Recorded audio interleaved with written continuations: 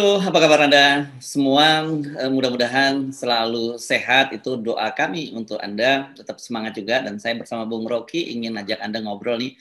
Edisinya berbagi semangat pada hari uh, Minggu ya di libur. Jadi sport ini kita sama-sama nggak janjian lagi-lagi nggak janjian sama-sama pakai topi karena habis jalan pagi.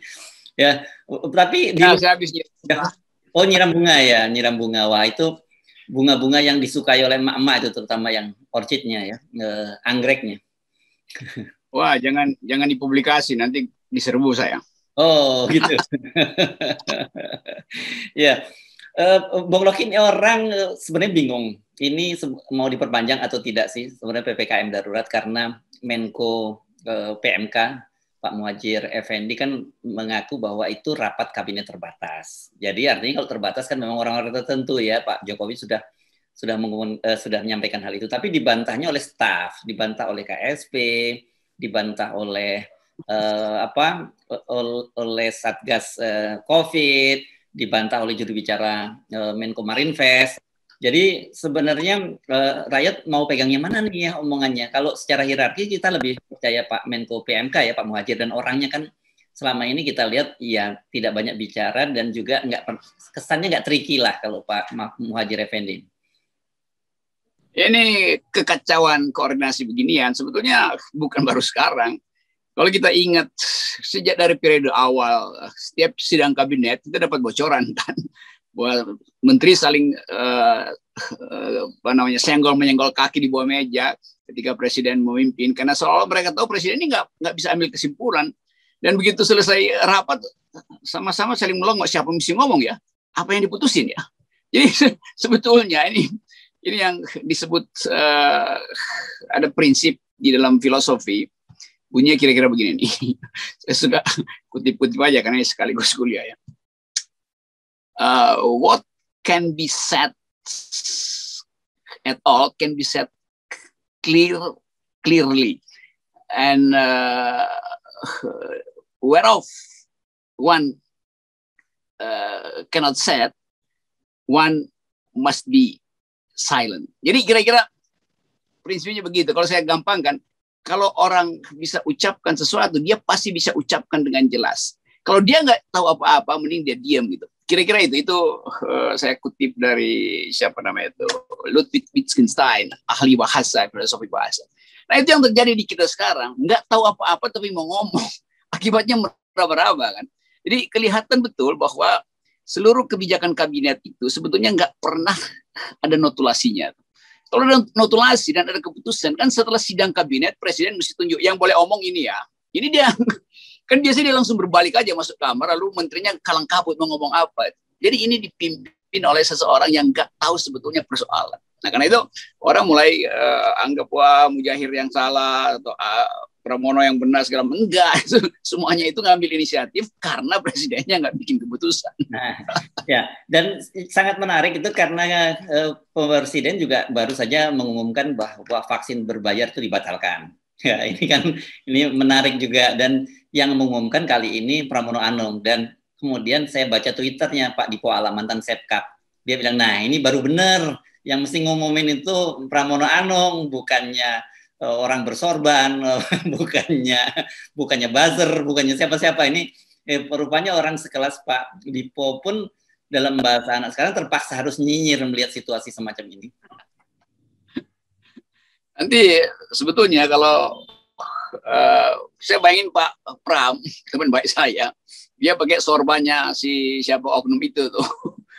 Supaya terlihat bahwa ada dua orang yang tampil, yang pakai sorban dan yang pakai otak gitu kan. Pramono kan otaknya bagus kan. Jadi kita lihat sebetulnya banyak orang di istana yang mau tampil supaya Pak Jokowi tahu mereka lagi berfungsi. Padahal sebetulnya semakin banyak yang tampil semakin kacau. Jadi memang Pramono adalah orang yang mengerti uh, isi bahkan kunci-kunci rahasia di istana. Saya kira Pram yang paling paham tuh, karena dia yang mampu untuk bikin uh, relasi politik dan ya, pengalaman politik Pram itu luar biasa. Jadi saya paham kalau akhirnya Pram yang ngomong itu supaya semua diam ya. Ini keadaan kita begitu. Dalam keadaan uh, pandemi COVID yang berantakan beginian, thereof one must be silent. Begitu sebetulnya. Nah ini keadaan yang, uh, ya, tapi kita sudah duga dari awal ini pasti begini terus. Dan Pak Jokowi karena dia bingung apa yang telah diputuskan, dia ambil inisiatif sendiri itu mondar mandir uh, jalanin fungsi RT RW itu yaitu bagi-bagi sembako dan obat. Iya. Yang seharusnya dia yang putuskan iya. sesuatu seorang, ini dia bikin sendiri. Hmm. Nanti bisa nanti bisa uh, Pramono bilang ya Pak Jokowi keluar dari keputusan karena nggak ada keputusan sidang kabinet bahwa Jokowi mesti bagi-bagi obat. Dia adalah pemimpin. Pemimpin itu tinggal di tempat lakukan koordinasi. Akibat dia jalan-jalan ya bawahannya juga bingung apa yang mesti diucapin. Iya iya kan yang dibutuhkan orang sekarang itu bukan uh, fotonya Pak Jokowi atau video Pak Jokowi bagi sembako, tetapi bagaimana pemerintah menyediakan dana kalau mau PPKM darurat, kalau mau lockdown, sembako bisa sampai ke semua rumah tangga. Saya bisa membayangkan betapa repotnya Pak Jokowi harus keliling ke seluruh Indonesia bagi-bagi sembako itu. Dan seolah-olah ini masih mau kampanye, jadi ini beliau itu betul-betul nggak punya pengetahuan tentang sosiologi masyarakat tentang uh, psikologi emak-emak. Itu yang marah-marah jengkel ya Jokowi bagi-bagi sembako di beberapa tempat. Dan kita menghitung kalau Pak Jokowi malam-malam pergi atau keluyuran pergi bagi sembako, nilai operasi pas pampres itu lebih banyak daripada yang dibagikan tuh. Karena ini adalah kegiatan yang berbahaya gitu. Banyak orang yang menganggap, Loh, Pak Jokowi ambil risiko apa? Dan pas pampres kan dua hari sebelumnya udah ngamanin wilayah itu pasti kan dan uang udah turun segala macam tuh. Jadi biaya untuk uh, mem, biaya untuk mempertahankan pencitraan itu justru uh, memboroskan lagi keuangan negara tuh. Ya, ya. Kalau Pak RT kan modalnya berapa Pak RT? Cuma paling modal dua, dua cangkir kopi. Pak RT modal mandir tiga jam bagikan dan Pak RT yang paham tentang keadaan masyarakat. Jadi ini Pak Jokowi selalu ingin ingin nyuri poin. Padahal sebetulnya dia udah pointless. nah, sebagai wartawan yang pernah meliput di cukup lama di Istana Kepresidenan, saya tahu setiap kali kunjungan presiden itu biayanya besar sekali karena tidak hanya melibatkan pas pampres, tapi melibatkan uh, koramil setempat, polres setempat, bahkan polres setempat itu turun tangan itu. Jadi dan itu biaya apanya mobilisasinya nggak kecil itu dibandingkan kalau itu dana mobilisasi itu dibagikan untuk sembako, dikonversi menjadi sembako rakyat, wah itu udah besar sekali ya begitu keadaannya kan. Dan rakyat jengkel sebetulnya. Ini, ini presiden ngapain sih mondar mandir? Nanti lama-lama yang bilang e, saya pindahkan ke Papua itu sama seperti Bu Risma yang nggak paham tentang uh, psikologi politik psikologi masyarakat lalu uh, memilih kalimat yang sebetulnya menyakiti rakyat Papua. Jadi keadaan semacam itu juga yang dirasakan rakyat umumnya presiden sebetulnya sedang menyakiti rakyat karena rakyat nunggu kebijakan. Itu yang ditunggu rakyat. Nah, presiden uh, penuhi tuntutan rakyat itu dengan tampil bawa kamera, bawa pas pampres yang pasti menghabiskan uang. Nggak ada kepekaan betul nih dalam upaya kita untuk memulihkan ekonomi dan uh, kesehatan bangsa. Nggak ada kepekaan. Saya kalau kita coba berempati ya, Bung Rocky dengan Pak Jokowi, jangan-jangan Pak Jokowi itu sekarang ber itu apa ya situasinya teraliniasi gitu. Dan dia, dia beliau itu terlepas dari realitas yang sesungguhnya karena ternyata kemarin kan kita sebelumnya e, bingung ada sejumlah menteri yang jalan-jalan di Amerika ya. Itu menteri perdagangan sama menteri investasi yang saya kenal wajahnya. Dan itu publik ribut e, kenapa dalam situasi begini tiba-tiba jalan-jalan ke Amerika dan alasannya mencari investasi mendatangkan investasi. Hari begini siapa yang mau investasi? Nah kita lebih terkejut lagi ketika muncul juga larangan lagi-lagi Pramono yang menyampaikan bahwa para menteri itu dilarang untuk pergi ke luar negeri kecuali Pak Jokowi. Lah kok bisa Pak Jokowi nggak ngerti ada menterinya eh, jalan-jalan ke Amerika itu? Dan kita udah berkali-kali menganalisis bahwa akhirnya yang kita sebut presiden itu sebetulnya dia tidak memimpin itu karena nggak ada ide. Apakah dia berkuasa? Dia juga tidak berkuasa karena di sekitar dia itu orang bikin string, bikin uh, benang-benang untuk ngatur dia sebetulnya secara halus itu. Udah Pak Jokowi pergi aja uh, belusukan segala macam dan orang tahu bahwa dia akan diledek. Jadi sebetulnya ada semacam konspirasi aneh di istana yang memang menginginkan supaya presiden itu buat kesalahan terus menerus karena memang dia tidak mungkin untuk diminta untuk memimpin. Jadi udah dirumuskan, mungkin oligarki udah ketemu dengan dua tiga partai yang potensial untuk narik diri dari istana. Ini yang sedang berlangsung sebetulnya.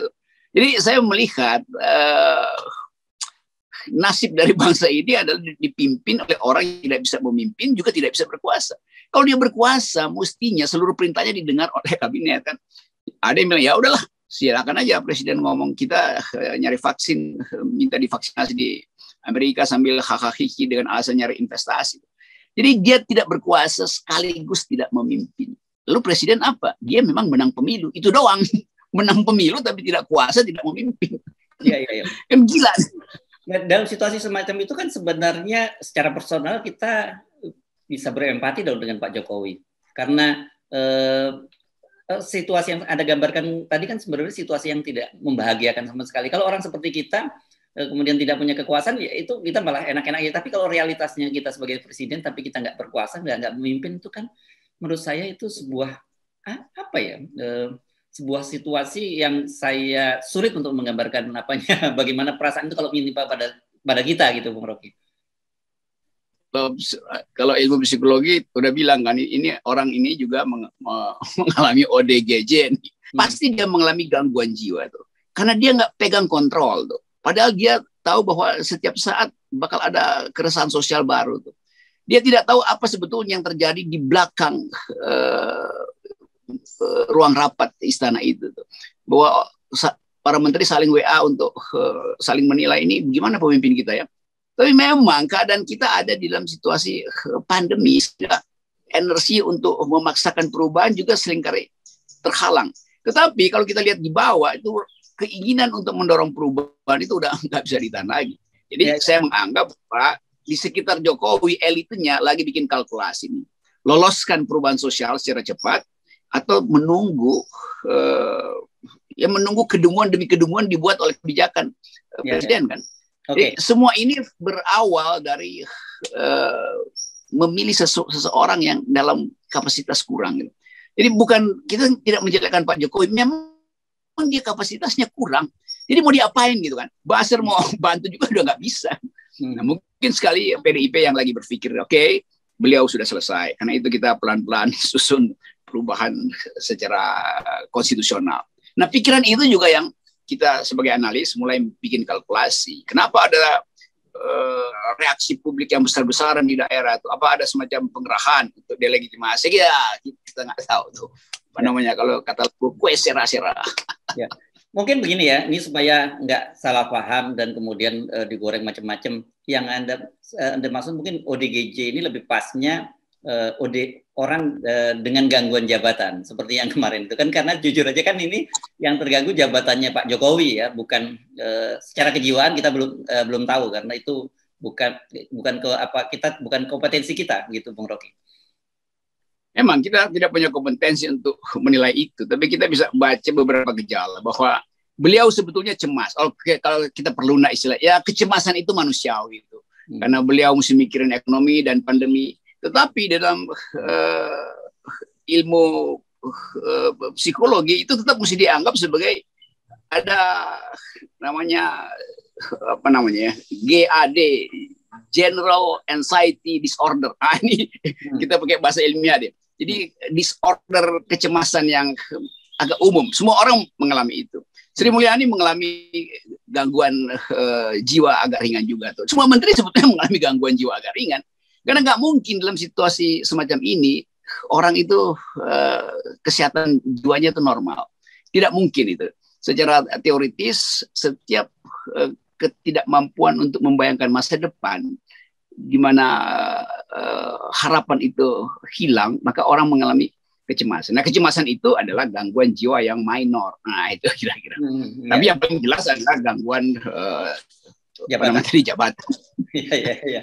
Nah, da dalam uh, situasi semacam ini, menurut saya ini kalau kita mau uh, serius mencermati ini agak, agak apa ya, uh, sangat berbahaya dong situasi bangsa ini.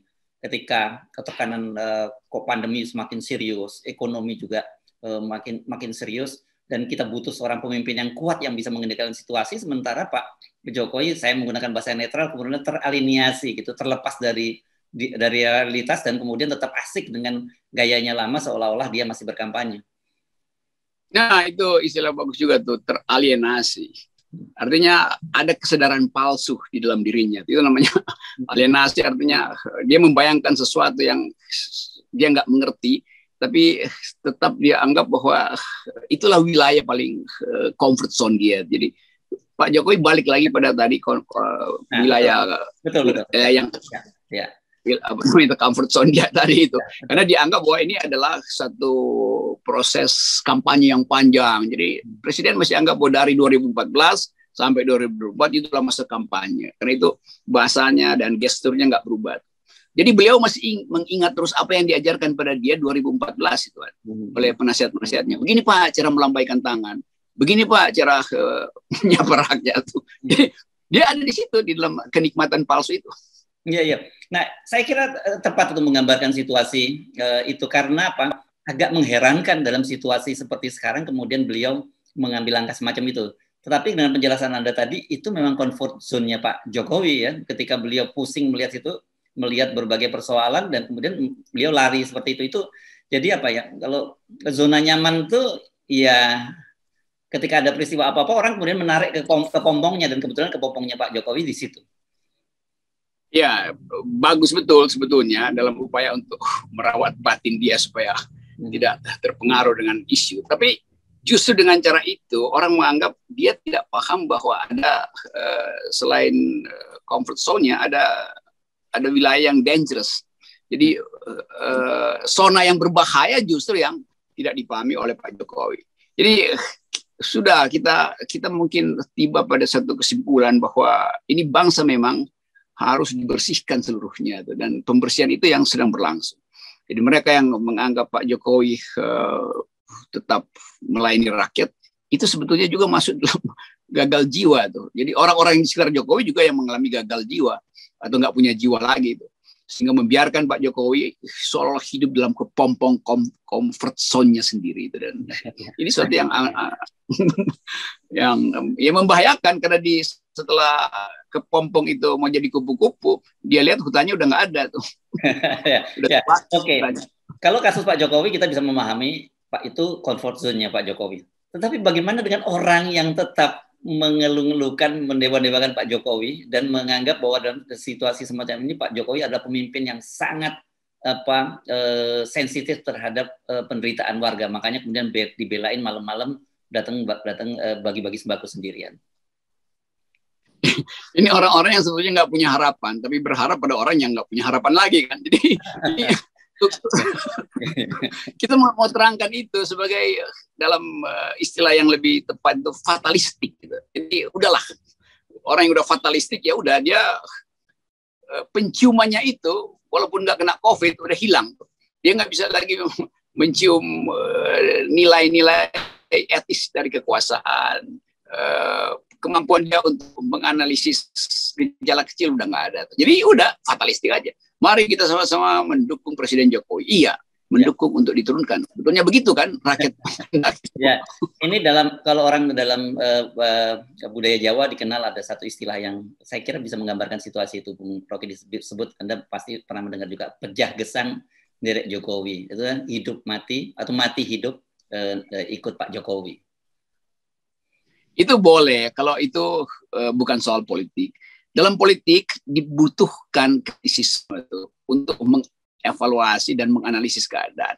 Kalau hidup mati ya itu ya silahkan kalau romans antara sepasang suami istri itu atau sepasang kekasih itu menghendaki hidup mati, ya udah lakukan aja. Tapi ini soal bangsa, hidup mati bangsa itu ada di dalam kebijakan. Nah, kebijakan yang dihasilkan oleh orang yang uh, fanatik semacam ini, mau hidup mau mati itu artinya mematikan bangsa sebetulnya. Padahal kita ingin hidup-hidup bukan hidup mati itu.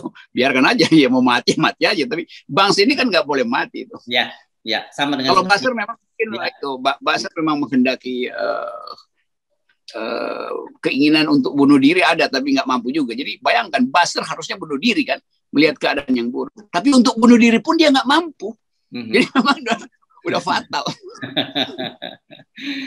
Oke, okay, uh, eh, Bung Rocky, mari kita terus amati karena menurut saya kalau dari sisi fenomena politik kita ini situasi politik Indonesia memasuki masa-masa yang sangat menarik gitu ya. Dan sebagai orang yang mengamati, ini kita tidak boleh melewatkan satu detik pun karena situasinya bisa dengan uh, cepat berubah. Betul, mungkin satu detik setelah kita tutup pembicaraan pagi ini, itu WA grup di antara kabinet mulai lagi tuh. Kapan ya kita lakukan konsolidasi untuk mengakhiri kabinet? itu seperti yang sedang terjadi. Iya. Oke. Okay. Terima kasih, Bung Rogi.